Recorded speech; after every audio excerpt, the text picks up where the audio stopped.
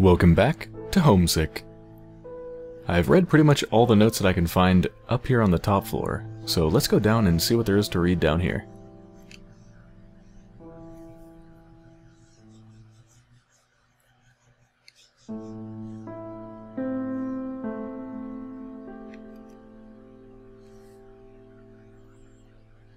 And I know there's still some puzzle stuff I need to do here as well. I think I need to fill this thing up with water and then use the bucket to collect the water, because right now I, I can try, but it, yeah, it looks like the water just isn't high enough to get any water out of it. And then of course, just like before, I need to dump the water on these flowers to make them alive again.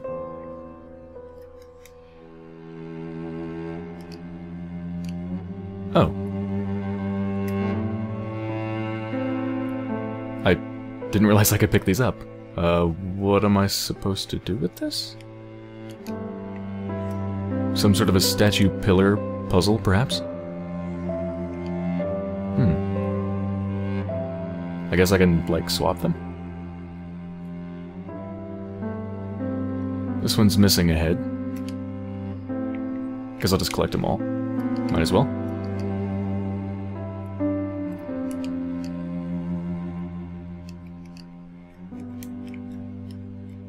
Uh, can I put it down?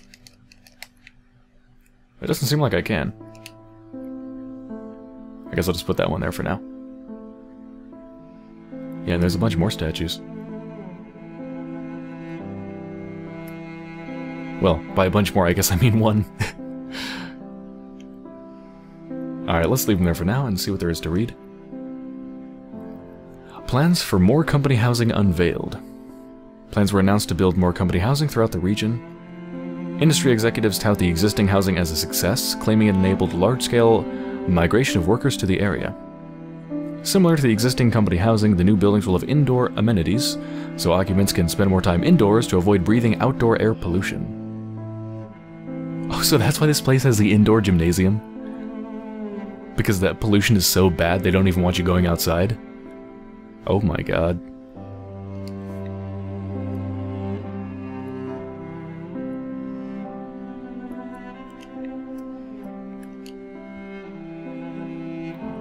Announcement. The schedule for evacuation drills has been increased.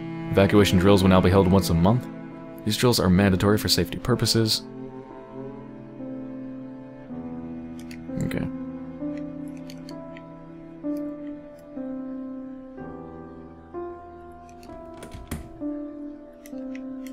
I don't have a key, right? I think I... Well, that's not to work, right? No.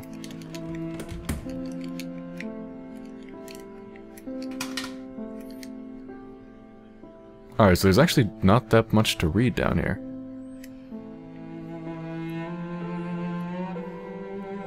So I guess I just need to do something with the statue heads. Like, put them in a certain order, I guess? But how am I supposed to know what order to put them in? Like, I have no idea.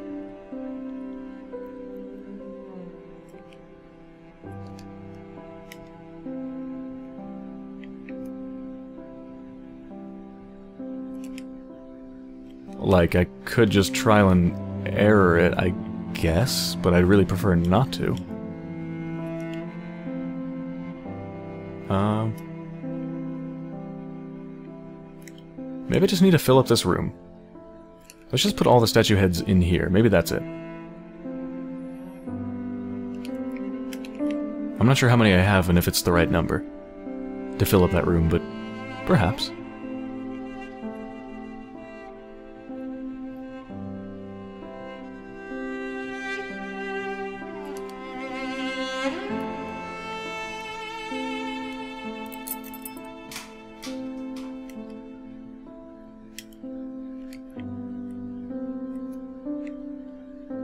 Okay, did something magically happen?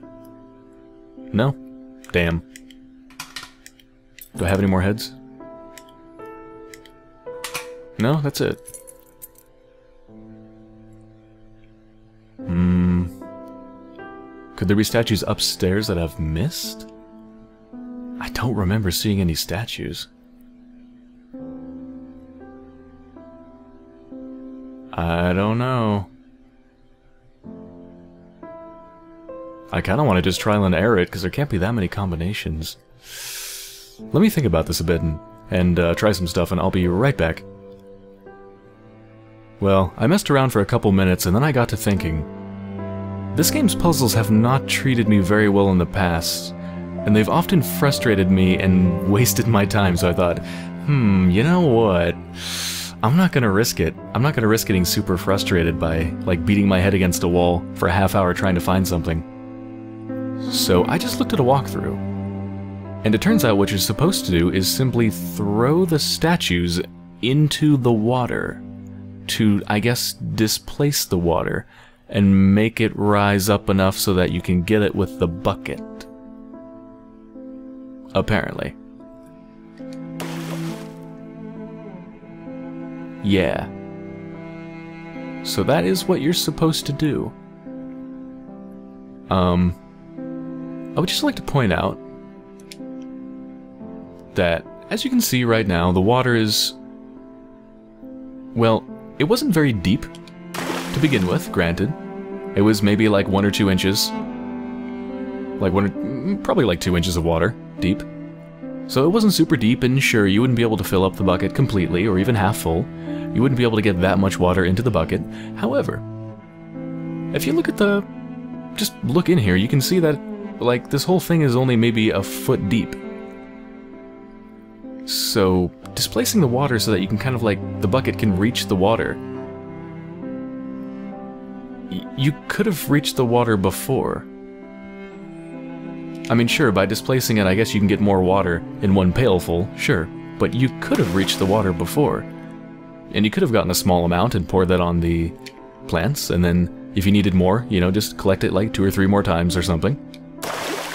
It's like, it's not like you couldn't reach the water, it just would have been slightly inconvenient. However, the fact that I have to throw these statues in is absurd because you know what's more inconvenient than the slight inconvenience of reaching over this rim and filling up your bucket like three or four times? What's more inconvenient is taking statues from around the room and tossing them in.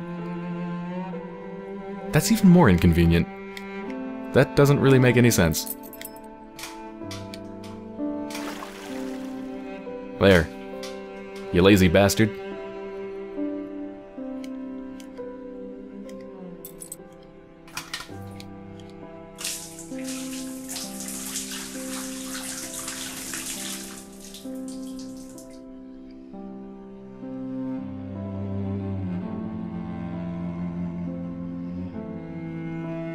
I don't know. Maybe the story justification for that is that you have a knee problem and you can't bend over or something?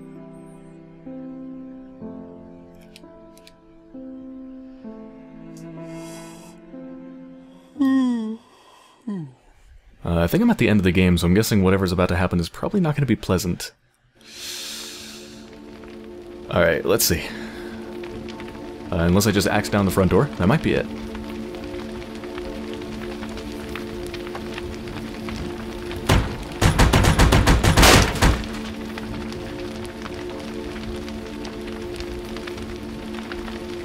Do I keep going?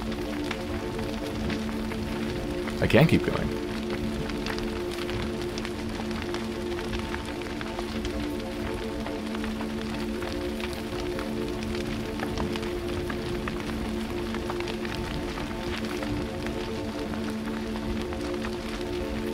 Yeah, there's an invisible wall.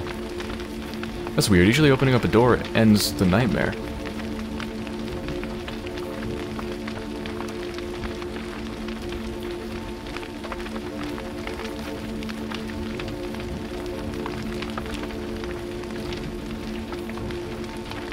And the nasty stuff doesn't even seem to be coming for me. Um, I need to get back to the other world. How do I do that?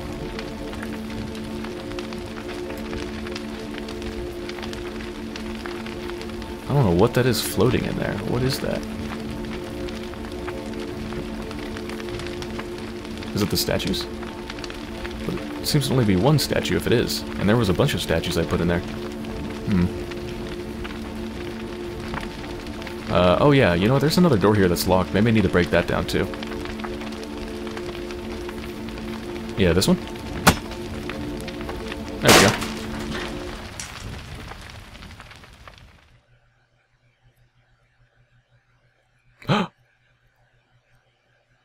Amir. That's the first time I've ever seen myself? What the hell?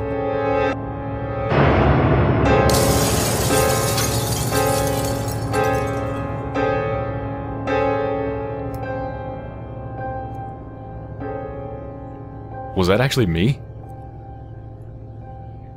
Was that actually me? If it is, then I'm hideously deformed. How could I even be alive if I look like that?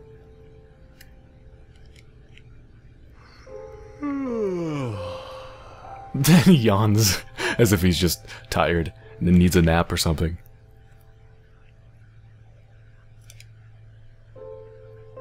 Lawsuit prevailed requiring posting of impacts. Public notices of the negative health impacts that would be caused by a failure to escape in an actual evacuation are required, according to the ruling issued today by the Federal Appeals Court for the 12th Circuit. In this case brought, in this case brought by an environmental organization, the court ruled that federal law does indeed require posting public notice listing the impacts in newspaper publications and inside residential buildings. The negative impacts include coma, sensitivity to sunlight, oh, muscle weakness, memory loss, melting and bubbling of the skin, and necrosis. So that's me, isn't it?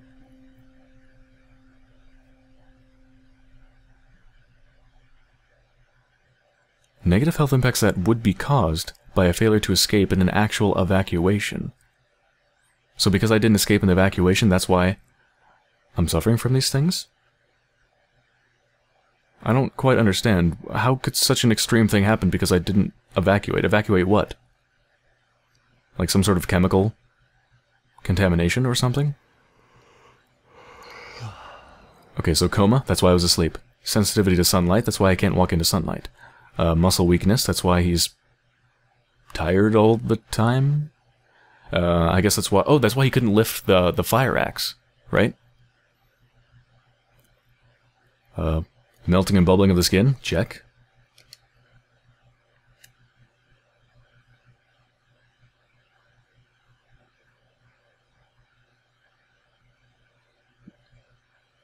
Well, if I'm sensitive to sunlight, then...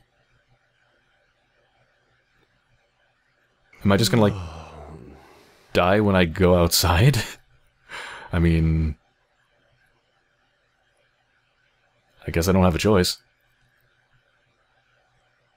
Oh, I yeah, I, I still can't go outside.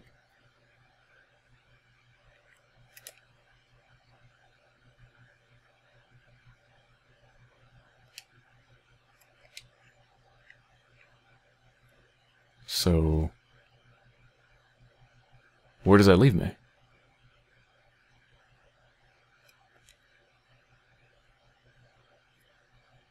Am I stuck in here?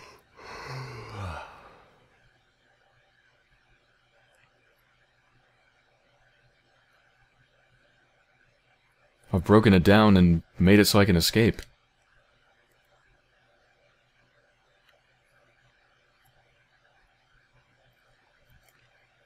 He sounds tired. Can I go to sleep again?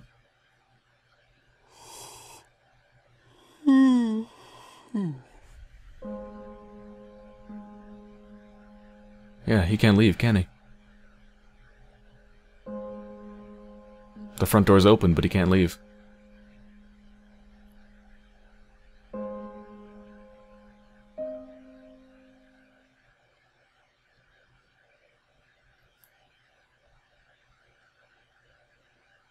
Just beautiful.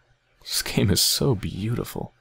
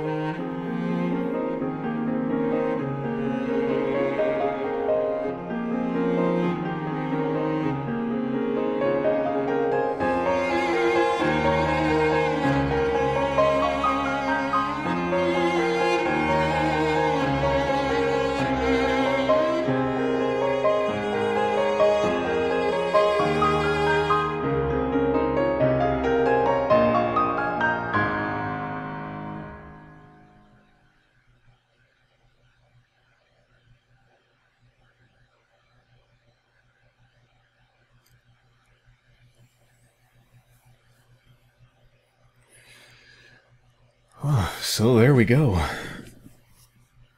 I guess some final thoughts just to sum it up. As far as what's happening in the story, it seems to be a place that is has some incredibly harmful um, industrial production when it comes to producing energy. Just incredibly bad for the environment and for the people that live there. It seems like they're still receiving subsidies from the government for some reason, and there was corruption where they're actually breaking laws, but... Oh hey, there's my name there. I just... Yeah, I just saw my name there, Total Game Freak. I thought it'd be my actual name, though, not my username. Because Total Game Freak's like my old username. Obviously, my actual name is Marshall Dyer. I don't like Total Game Freak anymore, it's old and immature. But hey, I'm in the credits! I saw myself in the Kickstarter credits, yay! My life is complete. Um, anyway, what was I saying? I totally lost my train of thought. Um, yeah, so it seems like they were even, not only was it just bad for the environment and being supported by, and also being supported by the government in ruining the environment and the lives of the people around there, uh, but they're actually even breaking laws, too. And people were thinking about speaking up, but it looked like nobody actually had at the time. Nobody had actually made that step and spoken up. Even though it looks like the previous uh, manager was thinking about it but never did, and then the new one was thinking about it, but as far as we know, never did.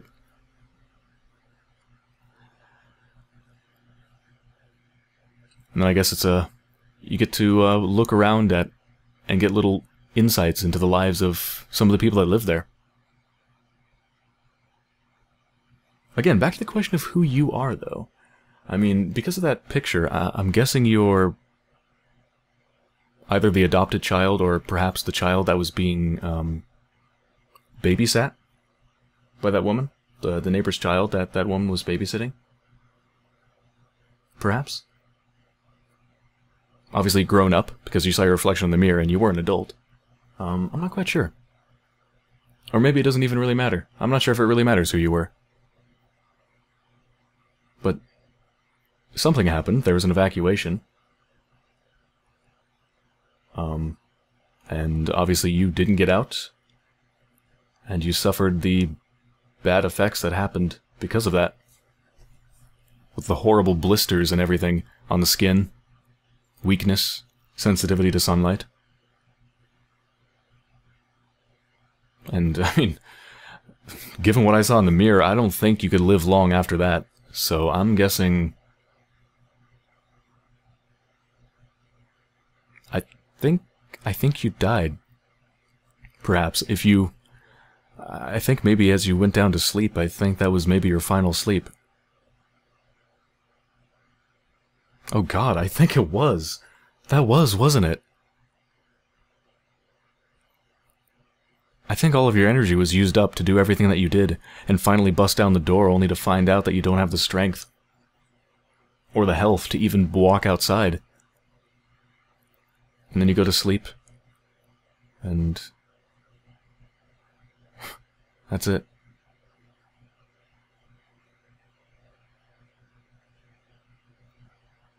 You know, I wish I didn't think it through and realize that I'm pretty sure you just died at the end of the game, because now it's even more sad. Not that you would have lived anyway, even if you... Even if I didn't think you just died and went to sleep forever right at the end of the game, obviously you wouldn't have lived long after that, but still. this game is so depressing, oh my god. I mean, it ended with uh, apparently happiness inside of your your mind as you drifted off to death. At least there's happiness. There was, you know, there was sunlight. You were in the sun and there was sunlight and you were basking in it and there was green everywhere and flowers and life. But still, oh my god. Oh, that is so depressing.